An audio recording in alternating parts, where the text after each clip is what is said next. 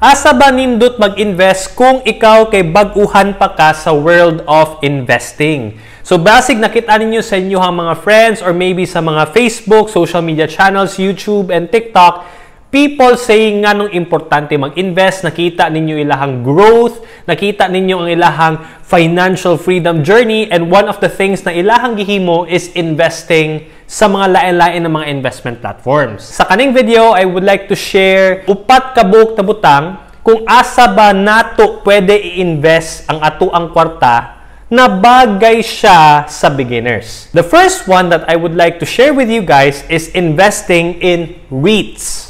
Ang pasabot sa REITs is Real Estate Investment Trust. Pag once nag-invest ka sa REITs, nag-invest na pod ka sa stock market ang negosyo sa katong imuhang giinvestan na kumpanya na stock is nagtuyok sa real estate.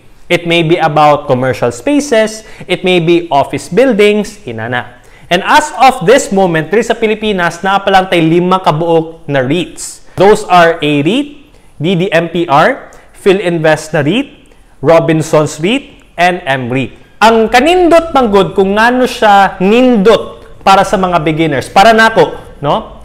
Is because you are earning money sa duha ka pamaagi. Nag-earn kag kwarta pinaagi sa capital gain. Ang pasabot sa capital gain is nagapagpalit nimo barato siya and then eventually you're going to sell it at a higher price. Whatever is your profit, that is your capital gain. Ang ikaduha naman po na pamaagi is you can earn money through cash flow or dividends. Dili nimo kinahanglan ibaligya ang imuhang REIT, imuhang stock pero naa kay madawat na dividendo. That's the beauty of investing in REIT kay naka-invest ka sa real estate na dili ikaw ang nag-manage. Wala kay ginabayaran na property tax, no? Wala kay ginabayaran na property manager because ang naghimo na ana, ang nagtrabaho na ana is katong kumpanya kung asa ka nag-invest. The second one naman is what we call the S&P 500. O yan, medyo social siya. S&P 500. Unsa man ni? It is the top 500 companies sa Amerika.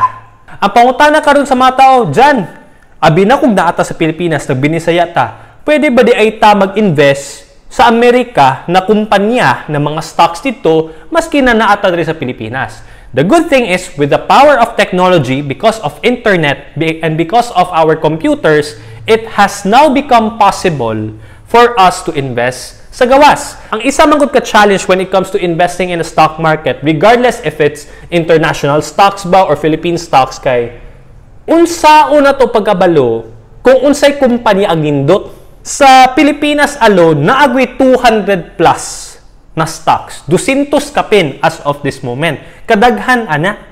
Sa Amerika na ay more than 500 companies. So unsaon nimo pagpili og isa duha na nindot? Diba? That is why, kung mag-stock picking manguta, kung beginners pa jud, medyo challenging jud siya because there are a lot of research na kailangan to tanawon para makikutag you are making the right decision. Dili man ta si Warren Buffett bay. no? Dili man ta sila Charlie Munger kani sila mga stock pick gurus na maayo kay sila pag abot sa inana. Kita kay nanabaho man ta. Di ba? naningkamot man ta, niya gusto lang ta mo invest sa mga butang na kabaluta atong kwarta over time mo tubo. Okay? So that's the beauty of investing in an index fund and specifically ang nag-perform jud og nindot over the past few years is the S&P 500. Isa lang ka stock imong gipalit nakakalat na siya sa top 500 companies.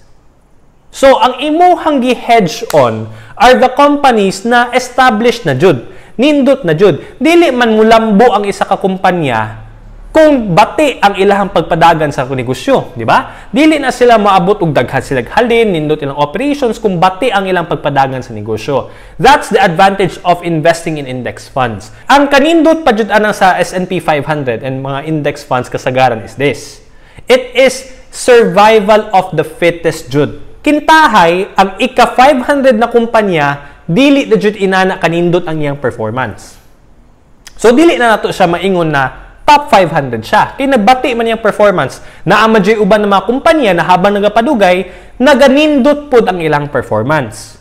Okay? And napoy uban kumpanya na habang nagapadugay, dili na pud inana kanindot ang iyang performance. So, unsa may mahitabo? Katong bag, katong kumpanya na ni maayo, unya katong mga kumpanya na ni banga, ilisan sila sa katong mga kumpanya na ni maayo. So mo na pasabot dato na survival of the fittest kay kung kinsa tong maayo mao to imong giinvestan. The third thing naman is not really ideal for beginners pero I would say it can be because mao na gud ni ang ginatawag natong the future. Oh, di ba? Which is kani ikatulo is what we call cryptocurrency. Kung beginner ka and interesado jud ka about the cryptocurrency market, is just invest in the top 1 between the top 1 to top 5. In this case, Bitcoin is always the top number 1. Sukad. Top 2 so far in terms of running nindot kailang performance is Ethereum. Kung familiar ka anang mga Axie Infinity, kanang mga NFTs, mga NFT games, mga play to earn games, kadaghanan ana nagdagan under Ethereum blockchain. The third one naman na aputay BNB, which is Binance, one of the biggest cryptocurrency exchange accounts in the world. No? Other than that, naapa dyan sila yung mga Binance Smart Chain, which naana po yung mga play-to-earn games pod na nagasulod sa Binance Smart Chain. You have to take note na even if you're investing in Bitcoin, Ethereum, or Binance, mo sa mga top 3, di ba? It does not necessarily mean na musaka siya all the time naadid siya up and down moments. Just like in the stock market, just like investing in REITs, there will always be up and down moments. However, mas dako ang imuhang chance na mutubo ang imuhang investment over time when you invest in these things. Kadaghanan magud sa mga beginners ba, sa mga rookies na magsugod silang invest, gusto nila katong mga dinagko dayon na mga tubo And that is why, pag once dili siya mahitabo, madismaya. And most of the time pa jud ang mga beginners nawala ang ilahang kwarta. That is why it would be better for you to start feeling it first. Kay beginner pa man ka, create a rhythm and then makita nimo it is growing. And the last thing that I would like to share with you guys, which is I would say the most important thing, and as cliche as it may sound, is that you have to invest jud sa imuhang kaugalingon. Invest in yourself. Daghan na kayo mga resources na pwede itong i-maximize na ay Google, na ay YouTube. Kung interesado ka about investments, about finances, maminaw ka sa mga tao na naga-invest o nagahimo jud sa ilahang mga gina-share about finances. Kung let's say nagatrabaho ka, you want to be better in your job. Gusto ba ka mo maayo pag abot sa graphic designing? Gusto ba ka maayo pag abot sa pagkarpintero? Gusto ba ka maging maayo pag abot sa pagiging arkitekto, doktor, lawyer, engineer, video editor, content creator, whatsoever? Pwede ka mag-invest sa mga programs or anything na makatabang sa imuha na mo succeed ka sa imong professional life and sa imong personal life. Why is that very important? Because the moment you become good in what you do, you will start earning money. And when you have extra cash, mauma pud na imong gamiton to invest. Nya ang problema lagi karon is that naana unta kay extra na cash, pagkauman wala man nimo gi-educate imo sarili about finances, about investments. So unsay nahitabo? Imo siyang gi-invest daw diri kay grabe ang tubo, gani daw kay nindot ana naminaw lang ka sa gawas without you even understanding the basics, the advance of it. Ang nahulog is ang imo ang kinapading kamutan na wag tang hinuon, na dismaya na hinuon ka. Nya ang lisod pa jud ana, that will become a trauma na moabot ka og 65 anyos na ni-retire na lang ka, unya wala kay retirement fund. By then mayong kag it's too late. So samtang sa iyo pa, it would be ideal, Jude, for us to invest in yourself. Before we proceed to our question of the day, gusto lang tamo invite sa kaning ginatawag na tong the present premium. When you join this, the present premium, there are four things that you're going to get.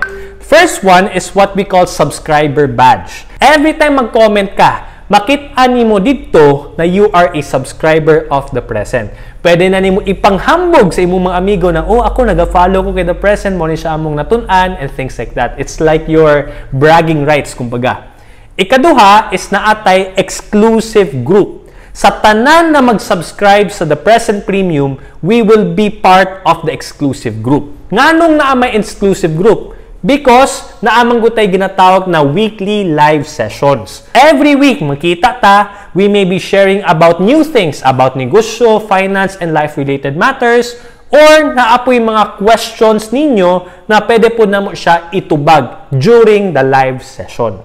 Ikaupat is eventually magkaroon ta og mga guest speakers. Kami na amami connection sa amo ang negosyo, sa amo mga kaila, na makita po namo na naa sila yung mga expertise na pwede nila i-share sa tua. Para makatuon po ta sa laing tao. Okay, amo ang diskarte, lahi man. It is working for us, amo ang mga strategies. That is why we are confident in sharing it with you. Yun nga lang, naama po sila yung mga expertise o mga strategies na pwede nila i-share sa tuwa. So why not learn from them and apply it in our lives? So nga nung nindot ni siyang the present premium is because na ay mga content na dito lang nato i-share. Dili nato siya i-share publicly. If you're interested with that, ributan na mo ang link sa description and sa comment section. Now, let's proceed to the question of the day. Asa man ang nindot mag-invest kung baguhan pa ka sa world of investing? Let us know your answers in the comment section.